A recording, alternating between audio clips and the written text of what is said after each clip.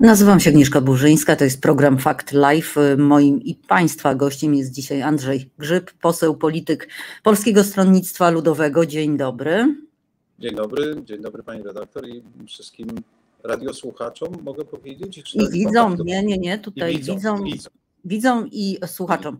E, Rosjanie blokują ukraińskie porty. Ma to być wymierzone przeciwko krajom Bliskiego Wschodu i Afryki. Ale co to oznacza dla Polski, jeżeli chodzi o żywność i to bezpieczeństwo produkcji żywności?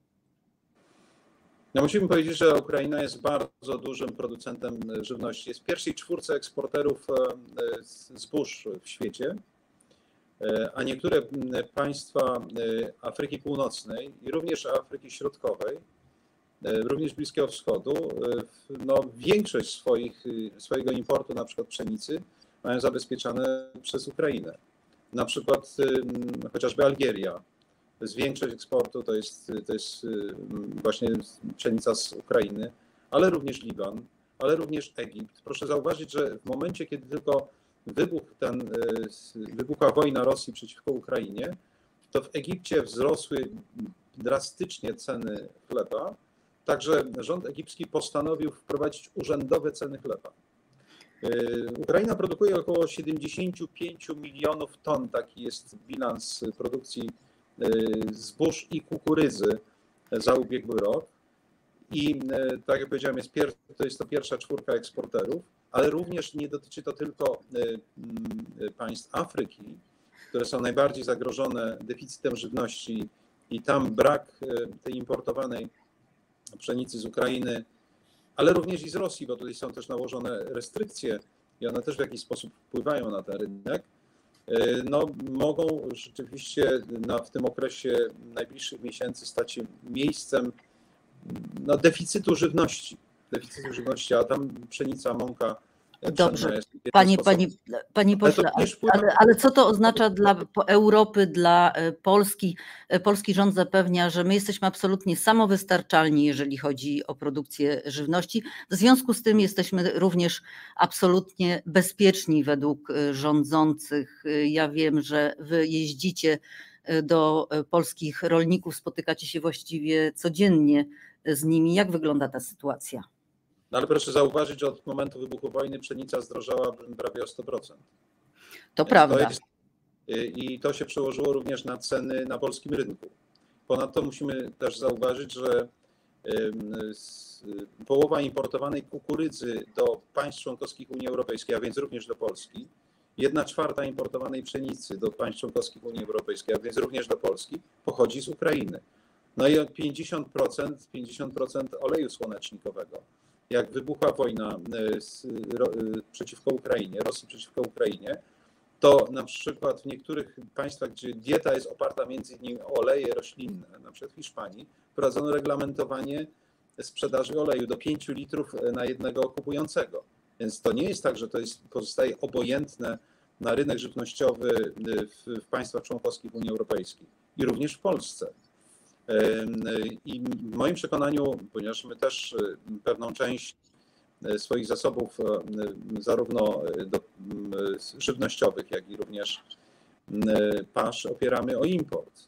A te zakłócenia, turbulencje na rynkach światowych, a, tak jak powiedziałem, Ukraina to jest czwarty, jeden z, z pierwszej czwórki eksporterów akurat zbóż, no też wpływa na nasz rynek.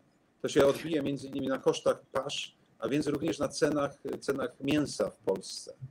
Ponadto... To, znaczy, że będzie, to znaczy, że będzie jeszcze drożej, bo mięso już podrożało bardzo. Każdy, kto chodzi no tak, do ale to jest gdziekolwiek. Wzrostu, y, to jest efekt wzrostu właśnie cen zbóż, no i oczywiście też y, pośrednio również y, już w tej chwili odczuwamy ten wzrost wynikający z, ze wzrostu cen paliw i ze wzrostu również cen energii bo no niestety nie, nie wystarczy tylko pasza, ale również jest do tego istotnym komponentem są nawozy i cena energii. To wszystko wpłynęło e, właśnie w sposób istotny na wzrost cen, e, wzrost cen e, żywności. Ona najmniej, że tak powiem, zdrożała u źródła, tam gdzie jest produkowana. Czyli surowce najmniej zdrożały. Natomiast wszystkie ogniwa pośrednie bardzo istotnie podniosły swoje koszty, łącznie oczywiście, oczywiście też z wynagrodzeniami, które też bardzo intensywnie rosną. Więc konsumenci to w swoim koszyku zakupów bardzo mocno odczuli. Już w tej chwili wszyscy mówią, że y, nie można ze 100 zł iść na podrzędne zakupy w sklepie. No dobrze, ale panie pośle, ale panie pośle, co nas y, czeka, bo my wiemy, że wszystko zdrożało, drożyzna jest y, no, wszechobecna właściwie, tylko czy to już koniec, czy to już jest ten pułap, który został osiągnięty, a czy nie? Co nas, co nas czeka nie, nie. w najbliższych wydaje, miesiącach? Wydaje mi, się, wydaje mi się, według w mojej ocenie, to nie jest koniec, dlatego że y, jeżeli uda się odblokować eksport ukraińskiej pszenicy i innych zbóż, a jest ich w tej chwili w magazynach około 25 milionów ton, to to może zmienić, że tak powiem, presję, bo zawsze te, tego typu blokady powodują, że y, no, dzieje się to na giełdach. Tak? Na giełdach rosną ceny. Y, jeżeli odblokuje się ten eksport, a jest, widzę w tej materii determinacja, łącznie z możliwością ochrony y, konwojowanych statków, które są zablokowane w tej chwili z pszenicą i stoją w portach na Morzu Czarnym. Morze Azowskie jest w tej chwili z tego wyłączone. To możemy powiedzieć, że się złagodzi te skutki. Te skutki. Nie będzie tak dużej presji na wzrost cen żywności. My nie jesteśmy samotną wyspą i ten wzrost cen żywności na rynkach światowych, na giełdach światowych również wpływa na to, co się dzieje w Polsce. E, Czyli gdyby właściwie... się nie udało, gdyby się nie udało, to będzie jednym z czynników wzrostu. Po drugie też aura w Polsce. Proszę zauważyć, że dopiero ostatnie dwa dni to jest y, y, deszcz. No w Wielkopolsce y, na początku maja nigdy nie widziałem, żeby na przykład zboża były białe. W wielu miejscach ta susza tak dokuczyła akurat tym zasiewom, że, że też widziałem właśnie olbrzymie straty. Zmiana aury, te deszcze ostatnie poprawiają sytuację. Jak to się zakończy? To jest ten czynnik niepewności, o którym zawsze w przyrodzie nie, nie możemy mówić. Więc no tak, możemy tak, się spodziewać wzrostu z pogodą, się, z pogodą się nie dyskutuje. Tak? No, z pogodą się nie da dyskutować, ale rozumiem też, że bardzo wiele zależy od odblokowania portów ukraińskich. Brytyjczycy tutaj zapowiadają e, jakieś działania, no. jakąś, e, jakąś interwencję. E, pokłada Pan nadzieję w tych zapowiedziach? Transporty. Słucham, bo troszkę się nałożył Pan na. Brytyjczycy powiedzieli przynajmniej w dniu wczorajszym, że są gotowi ochraniać y, transporty, y, które powinny być traktowane jako y, wręcz konwoje humanitarne ze względu na sytuację żywnościową na, w północnej Afryce i w krajach Bliskiego Wschodu oraz w Afryce subsaharyjskiej. Ale ma Pan nadzieję na to, że Rosjanie się zgodzą, bo dobrej woli po stronie Rosjan co do konwoi humanitarnych to nawet nie było w przypadku ewakuacji miast ukraińskich. Y, mam duże wątpliwości i pewnie te wątpliwości są również w tym pytaniu pani, y, pani redaktor daleko idące. Y, czy Rosjanie wykażą taką dobrą wolę? Jeżeli będzie presja Organizacji Narodów Zjednoczonych, gdzie Rosja jest członkiem Rady Bezpieczeństwa i również międzynarodowych organizacji humanitarnych typu Międzynarodowy Czerwony Krzyż, również ta pomoc żywnościowa dla świata, FAO, no to myślę, że, że to da jakiś re rezultat. Nie spodziewam się natomiast bardzo szybkich y, czy odwrotnych, że tak powiem, reakcji ze strony Rosji. To jeszcze pewnie potrwa. No bo trzeba sobie powiedzieć jasno, że po tym jak rosyjska ofensywa ugrzęzła y, w Ukrainie i nie odnosi tam większych sukcesów, Rosjanie po prostu potraktowali żywność y, i, i te wszystkie rzeczy z nią związane jako kolejną broń. Stąd moje wątpliwości. Tak, ma Pani absolutną rację, zgadzam się z, z tą Pani diagnozą i proszę zauważyć, że to barbarzyństwo sięgnęło nawet y, banku genów. Y, w tym banku, ukraińskim banku genów było zgromadzonych 160 tysięcy gatunków i odmian roślin. I to wszystko zostało zniszczone nie tylko przez atak, ale również spalone. Więc zniszczone zostało bezpowrotnie coś, czego, co będzie trzeba odbudowywać i nie wiadomo, czy kiedykolwiek się uda odbudować, bo te banki genów to są po prostu zdeponowane w określonych warunkach z nasiona roślin, zarówno gatunków, jak i odmian, które służą przyszłości hodowli. To jest tak, gdyby tak, taka, bym powiedział, taka żelazna rezerwa, gdyby coś się wydarzyło nadzwyczajnego, to można sięgnąć do tego banku i odbudować te zasoby jeżeli chodzi o rośliny użytkowe. No tak, ale w tym wypadku, ale w tym wypadku na przykład ludzie pytają, no ale dobrze, zniszczenie banku genów, przecież to nie jest jedyny bank genów na świecie. Tak, no tylko, bo... tylko, tylko wie pani, zawsze każda strefa klimatyczna ma swoją specyfikę, tak? I zupełnie inne mamy odmiany, na przykład w Polsce. Część tych odmian oczywiście można wprowadzić do uprawy na Ukrainie, ale niekoniecznie y, wszystkie odmiany się będą w tamtejszych warunkach udawały. Dlatego to jest tak, tak ważne. Ja to podaję jako przykład, bo przecież z reguły chroni się tego typu zasoby, bo to, są, to jest efekt wielopokoleniowych i wieloletnich e, prac e, świata nauki. Myślę, że Rosjanie niewątpliwie też korzystali z tych zasobów genowych e, z Ukrainy. Więc tutaj ta, ta sprawa jest bezwzględna. No tak, ale wypowiedzieli wojnę totalną chwilę, panie pośle, o polskiej e, polityce PSL dołącza do koalicji obywatelskiej i zagłosuje za odwołaniem e, Zbigniewa Ziobry. E, po co chcecie robić takie prezenty Solidarnej Polsce i jej szefowi? Jak pani zauważyła, nie jest to nasza inicjatywa. Natomiast wydaje się, że szereg poczynań, które są inspirowane i prowadzone przez Solidarną Polskę, one są szkodzące Polsce. W szczególności zaś prawie roczne opóźnienie, jeżeli chodzi o wdrożenie Krajowego Planu Odbudowy.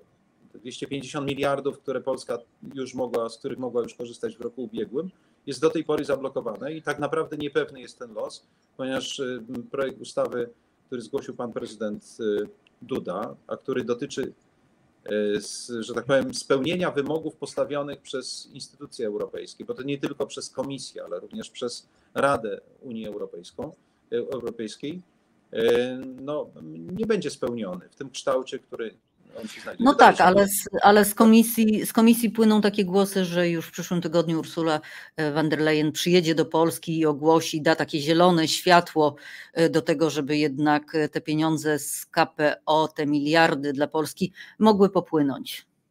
Pani redaktor jest pani daleko bardziej optymistyczna w tym stanowisku niż ja, dlatego że tam są trzy warunki. Nie tylko likwidacja Izby Dyscyplinarnej, ale również spełnienie między innymi przywrócenie do, do pracy tych sędziów, którzy zostali zwolnieni ze względów na decyzje polityczne. To nie, nie tych, którzy popełnili przestępstwa y, pospolite.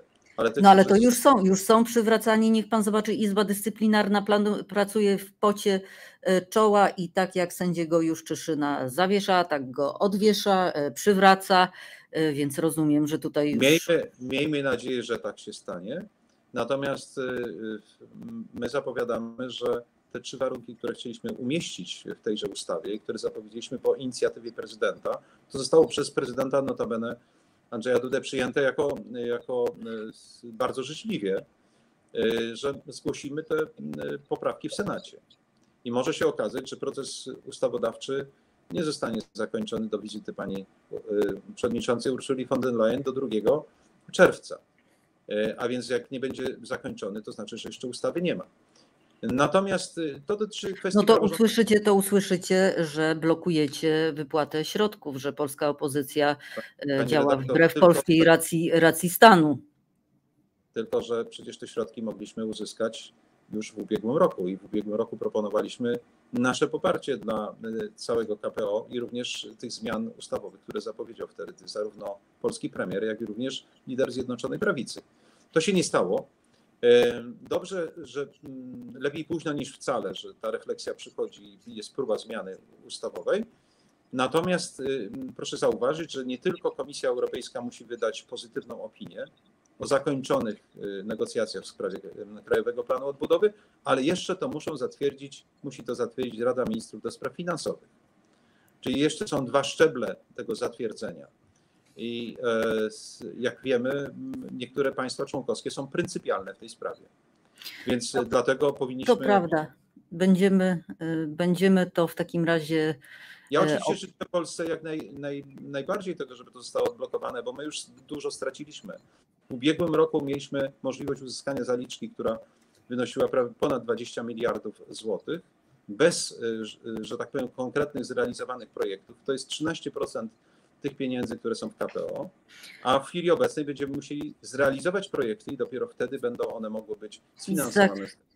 Za chwilę o tym porozmawiam z moim kolejnym gościem, akurat z posłem Solidarnej Polski. Ja bardzo panu dziękuję. Moim państwa gościem był Andrzej Grzyb, Polskie Stronnictwo Ludowe.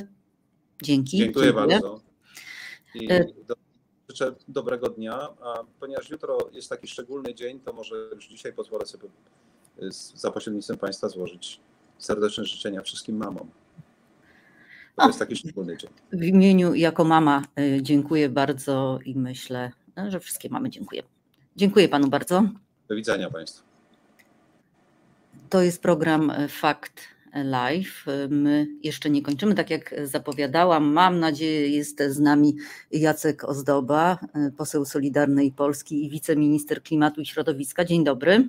Dzień dobry, witam panią redaktor, witam państwa. Wiem, czy dobrze słychać. My zaczniemy nie od polityki na razie, nie od KPO, nie od wniosku o odwołanie Zbigniewa Ziobry, chociaż on się pojawi.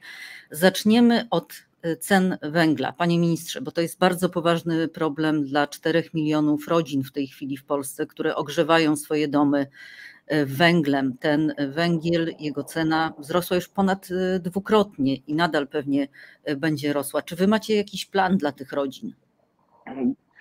To rzeczywiście bardzo duży problem, e, który e, dotyka polskich rodzin. W ogóle, jeżeli chodzi o surowce, to tak naprawdę na każdym płaszczyźnie mamy problem, dlatego że z jednej strony mamy kwestię ropy, no to widzimy ta dywersyfikacja następuje i kwestia bezpieczeństwa, a z drugiej strony jest e, gaz, który również jest dywersyfikowany i tu również widzimy te szalejące ceny.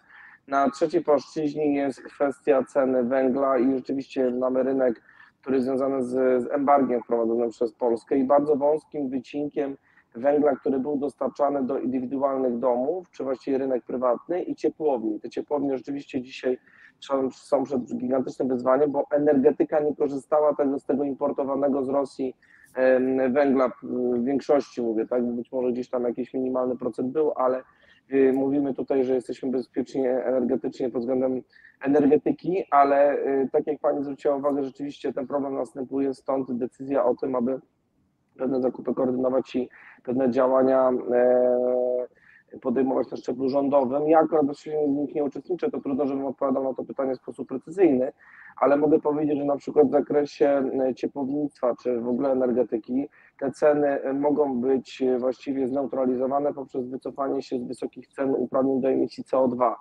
E, dzisiaj to ponad 80 euro, czyli ponad 360 e, zł, co gdybyśmy na przykład zawiesili system ETS na czas tego e, dość trudnego okresu wynikającego z wojny na Ukrainie, no to mielibyśmy tą większą neutralizację dla ciepłownictwa czy też energetyki. No, gospodarstwa domowe tym nie są objęte, ale rzeczywiście jest to duży problem, który musi być rozwiązywany. Stąd inne rynki niż też ten rosyjski, który powinien dostarczać do Polski węgiel. No ale dobrze, zawieszenie ETS y, to jest jednak y, decyzja Unii Europejskiej. To prawda, ale my już od dłuższego czasu, niezależnie od tego, czy był konflikt na Ukrainie, czy też nie, postulowaliśmy, że ten parapodatek, który jest nakładany, jest spekulacją. Trzeba pamiętać o tym, że wprowadzono w pewnym momencie przed 2015 roku tak zwany mechanizm MSR-u, czyli Market Stability Reserve, to jest taki mechanizm, który powoduje, że ten e, system uprawnień ETS-u jest jak taka spekulacja. Mówiąc wprost, bankster gra, e, banki inwestują, e, bawią się tę zabawę, a my wszyscy za to ponosimy koszty. Pamiętacie Państwo, taka głośna dyskusja była o tych, ile procent ceny polityki klimatycznej jest w cenach energii, tak? Wytwarzanie energii to większość kosztów jest rzeczywiście polityka klimatyczna. To była dyskusja, czy to na rachunku, czy też nie, ale to nie ma znaczenia, bo na jednym i drugim rzeczywiście polityka europejska przynosi gigantyczne koszty. Ciekawy jestem, czy na przykład w ramach tej dyskusji o derusyfikacji sektorów bankowych i tych naczyń połączonych, szczególnie u naszych zachodnich sąsiadów do Niemców, na przykład na rynku ETS-u nie grały rosyjskie banki, czy też aktywa jakieś związane z Rosją nie były tym zainteresowane, aby te ceny były jak najwyższe. No to pewnie, pewnie kwestia e, wyjaśnienia, pewnie, pewnie kwestia śledztwa, tak, i tego, że Rosjanie rzeczywiście spekulowali e, na różnych poziomach i przy różnych e, tematach i grali gospodarką, dzisiaj grają żywnością, więc wcześniej grali cenami surowców. Natomiast no, my wiemy, że Solidarna Polska mówi o mm, zawieszeniu ETS-ów od dawna, no tylko od samego mówienia to się nic nie dzieje, panie, e, panie ministrze, bo to jest właśnie decyzja Unii Europejskiej. A ja pytam o konkretny zmierzam, plan, bo, bo nie, nie, bo momencik, tylko, tylko skończę, bo łatwo było wprowadzić embargo na e, węgiel, to znaczy może nie łatwo, no ale w sensie powiedzieć tak, wprowadzamy i rzeczywiście nie kupować e, tego węgla, tylko co dalej właśnie z tymi ludźmi. To prawda. Co do tych konkretnych ruchów, to Solidarna Polska przedstawiała już taki plan, tam apelowaliśmy do tego, że do instrumentów europejskich, aby rzeczywiście e, te rozwiązania wyszły na agendę europejską. W parlamencie toczy się dyskusja o funkcjonowaniu ETS-u, ale co gorsza, nie dość, że jesteśmy tak naprawdę w niekomfortowej sytuacji europejskiej i koszty polityki klimatycznej dla Europejczyków są bardzo wysokie, to do tego przedłożono projekt o nazwie Fit for 55 który oznacza według Banku PKO, że na każdą polską rodzinę będzie przypadało 256 tysięcy złotych za transformację, a na każdego z nas 64 tysiące złotych. To de facto oznacza, że na przykład zamiast się zbroić, zamiast być niezależnym energetycznie, w okresie przejściowym mielibyśmy korzystać z energii gazowej, czy właściwie z tego paliwa, które wykorzystywane jest dalej na przykład w ciepłownictwie czy w energetyce. Wiemy, że już dzisiaj tego nie możemy zrobić z jednego prostego powodu, bo 24 lutego tak naprawdę to no było dokładnie, dokładnie, no ale to panie ministrze, wody... Panie ministrze, to wiemy, że Europa, e, zwłaszcza Niemcy też źle obstawiły to no, e, paliwo przejściowe, tak? Europa bo, jest prorosyjska i Niemcy są No tak, bo rezygnując, rezygnując momencik, rezygnując z elektrowni e, atomowych i zapowiadając przestawienie się na te odnawialne źródła energii, cała właściwie Unia Europejska stwierdziła, że właśnie będzie opierać się na paliwie przejściowym, na gazie, na ropie, no i, i okazało się oczywiście, że to wszystko już jest dzisiaj nieaktualne, tylko no właśnie, tylko co dalej? Dalej to przede wszystkim twarda polityka europejska, stąd e, będziemy wnioskowali, wnioskujemy, cały czas apelujemy do premiera, żeby używać w wszystkich możliwych e, negocjacjach prawa weta w zakresie polityki klimatycznej i też e, dalszej drogi Unii Europejskiej. Unia Europejska nie ma wylanego kubła zimnego na głowę, tylko ma po prostu kopnięcie z nogą w twarz europejskich biurokratów i przede wszystkim to jest tak, z jednej strony polityka... No ale, ale panie ministrze, ale to co weto, ja ma, mówię, co Unii, weto ma być w Unii Europejskiej y, no tym, y, tą maczugą, którą będziemy, y, którą będziemy machać, no tak Unia Europejska tych spraw nie załatwia. I sam pan dobrze wie, dlatego, bo zaraz porozmawiamy o jednej z tych spraw, która jest dla was trochę bolesna dlatego jest prorosyjska i e, musimy zmienić te podejście. Po pierwsze, to jest konsekwentna polityka personalna. Wyrzucić wszystkich na zbity ryj, bo to inaczej nie można tego powiedzieć, którzy byli prorosyjscy. Od Gerharda Schrödera, który powinien być absolutnie odcięty, powinien być nałożone na niego sankcje. Niemcy dzisiaj się wybielają po europejskich polityków, którzy odpowiadają za Europejskiej Partii Ludowej za to, że była neoimperialna droga. Hitlera i Putina należało zatrzymać w Monachium i tego niestety nie zrobiono. Europa podejmowała decyzje, które są prorosyjskie i oprócz tego oczywiście dzisiaj musimy podjąć nie tylko kwestie personalne, ale również kwestie związane z twardą polityką, która musi być prowadzona. To nie jest tak, że. A dobrze, no ale dobrze, ale co zrobić z politykami polskimi, którzy sprzyjali Wiktorowi Orbanowi? Pan wie doskonale o, o o, o kim e, mówimy, a który, tu, który to Viktor Orban no jest właściwie kumplem Władimira Putina który, i człowiekiem, który go popiera. To jest trochę szukanie alibi do tej całej dyskusji. Nie da się porównać działania na przykład europejskich polityków, takich jak pani kanclerz Niemiec czy Donald Tusk, e, czy, czy inni przywódcy europejscy do Orbana, którego zachowanie mi się osobiście nie podoba bo Orban e, jest jednym z krajów europejskich, a mówimy o całej wspólnocie, która podążała w drogę prorosyjską.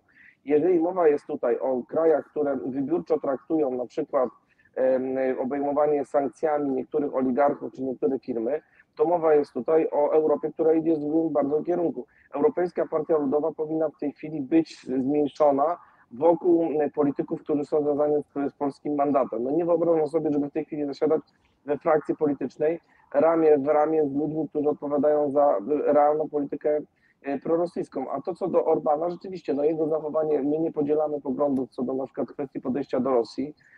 Jest to podyktowane pewnie jakimiś innymi drugim, drugimi aspektami, które są dla mnie kompletnie niezrozumiałe i niezależnie od tego, czy to będzie mówili o Orbanie, czy będziemy mówili też o Europejskiej Partii Ludowej, należy wyciągnąć z tego konsekwencje. Z jednego prostego powodu. To jest tak, Czyli wyrzucić ich, wyrzucić ich wszystkich i wetować później wszystko. Nie wiem, czy aż tak, bo to jest trochę sprowadzanie tematu do absurdu i do pewnego szaleństwa, ale jeżeli ja pamiętam dwa lata temu taką dyskusję, gdzie mówiono, że weto to jest szaleństwo, nie możemy tego zrobić. I dzisiaj wszyscy ci, którzy mówili, że wtedy to było szaleństwo, dobrze, jakby przyszli i powiedzieli, dlaczego my wtedy byliśmy szaleńcami, bo nie byliśmy. Mówimy o racjonalnym poziomie.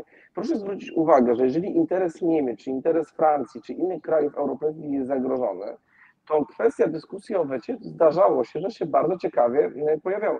Chociażby nawet e, początki Unii Europejskiej pokazywały, że, że e, element weta był stałym instrumentem, który kraje dbały o to, aby prawodawstwo europejskie były jak najlepsze. I kiedy w Polsce się to pojawia, my mamy jakąś taką dziwną politykę kompleksu, która doprowadza do tego, że jak ktoś tak mówi, to jest jakiś oderwane rzeczywistości. No nie. My mówimy o bezpieczeństwie energetycznym, mówimy o bezpieczeństwie europejskim.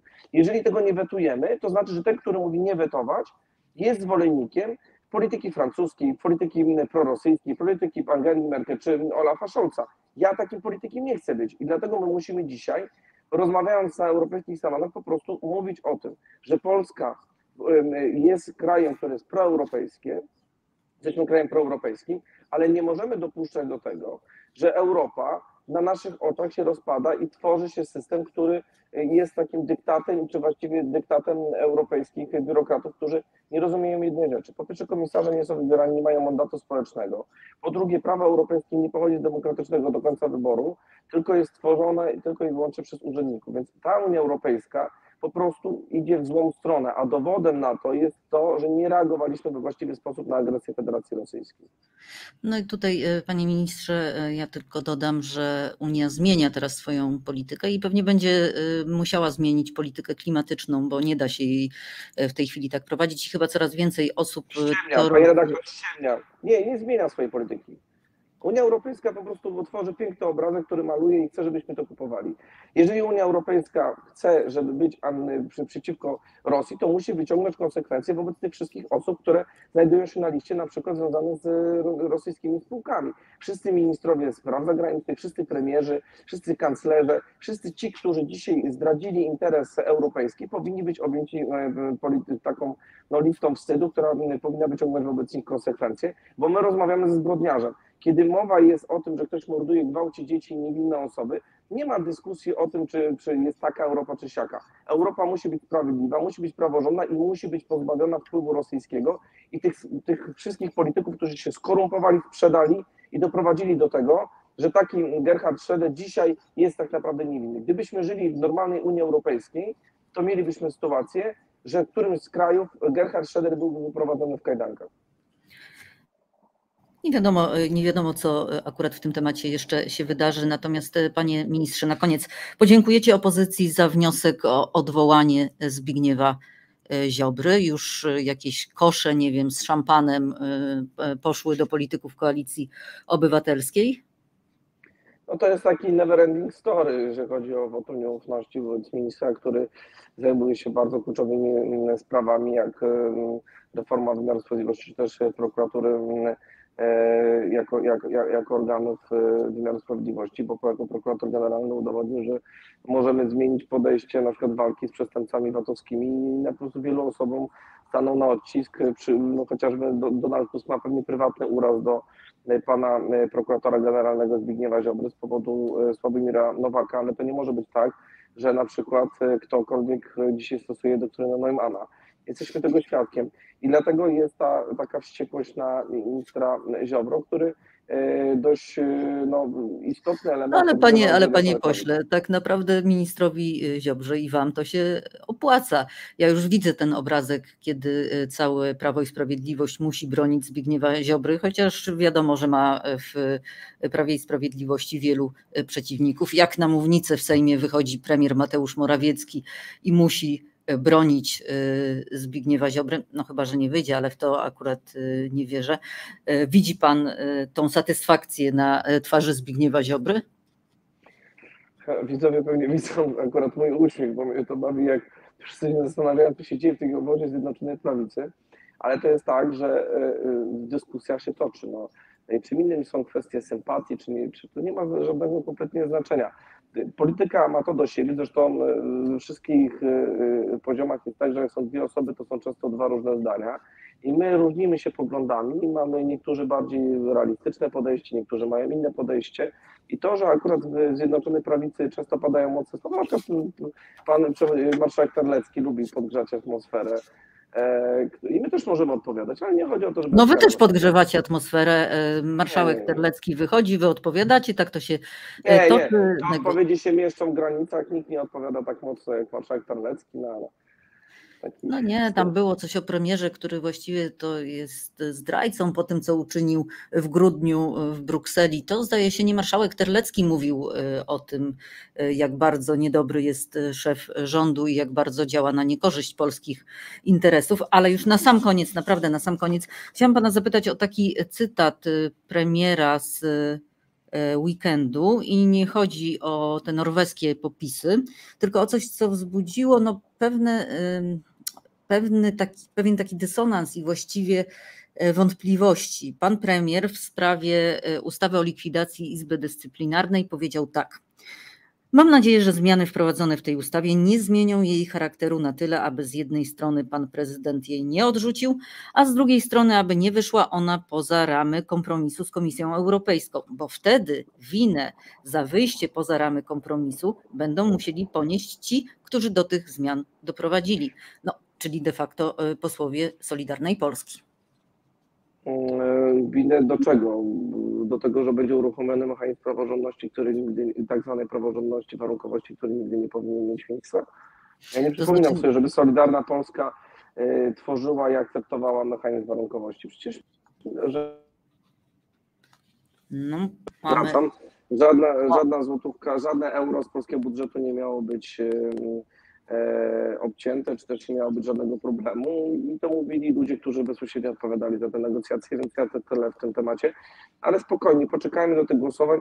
Ważne jest to, abyśmy przy tych zmianach nie tworzyli chaosu prawnego i żebyśmy na przykład nie, nie, nie tworzyli warunków prawnych, które mogą być wykorzystywane przez na przykład przestępców na tle seksualnych, którzy mogliby wykorzystać to w, e, w postępowaniu karnym, bo takie ryzyko istniało, stąd te poprawki, które mają na celu tworzenie warunków, które nie spowodują y, anarchii prawnej. No zobaczymy, zobaczymy, jaka też będzie reakcja y, na to Komisji Europejskiej, bo tak jak mówił pana poprzednik, znaczy poprzedni gość Andrzej Grzyb, że jednak no to nie jest tylko to, że Ursula von der Leyen przyjedzie do Polski i powie ok, no już spróbujmy odblokować te środki, tylko to jest cała procedura i będą oceniane jeszcze te zmiany, które wyście wprowadzili w tej ustawie, która była wynegocjowana już pomiędzy prezydentem, Brukselą, Brukselą a premierem. No to posłowie Solidarnej Polski wprowadzali te zmiany. Dlatego cytowałam pan, panu ten fragment z pana premiera. Tylko, że to jest e, dyskusja, która nie znajduje odzwierciedlenia w podstawie prawnej. No. Proszę bardzo, pani von der Leyen przyjedzie oceniać co? Wymiar sprawiedliwości w Polsce?